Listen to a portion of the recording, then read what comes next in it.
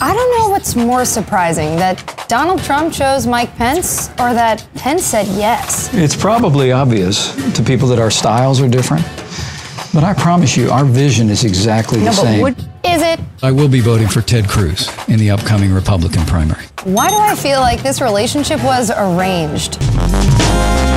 Sure, Trump and Pence have had their disagreements, but these two disagree on so much, they come across as one of those couples that everyone looks at and says, I give it a year. Like after Trump said, Donald J. Trump is calling for a total and complete shutdown of Muslims entering the United States. Pence shot it down. And after Trump said, If you are saying he can't do his job because of his race, is that not the definition of racism? This judge is giving us unfair rulings. Pence was quick to defend himself. Of course, I think those comments were inappropriate. Trump has always been wishy washy on women's reproductive rights.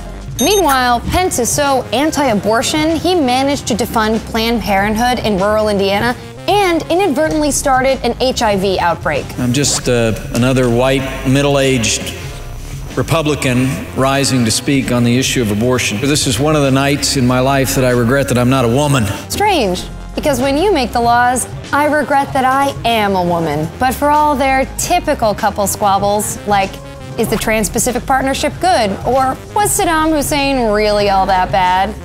He was. There's gotta be something this power couple has in common, right? Well, both men were active in media before politics. Trump had The Apprentice. And Mike Pence had the hit 90s Indiana radio show, The Mike Pence Show.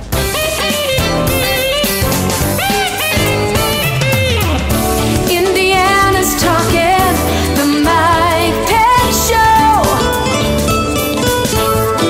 Show. Besides killer theme music, what do these two really have? Pence is the poster boy for the establishment, while Trump insists he's anti establishment. The establishment, they are really trying to stop me. The establishment, lobbyists, and special interests are absolutely killing our country. But you know what they say all good relationships are built on compromise. System better than anybody else.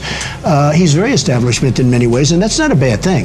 In fact, as their 60 Minutes interview highlighted, these two are going to keep compromising, no matter how hard it is. Your Excuse me, running mate Iraq did voted rock for it.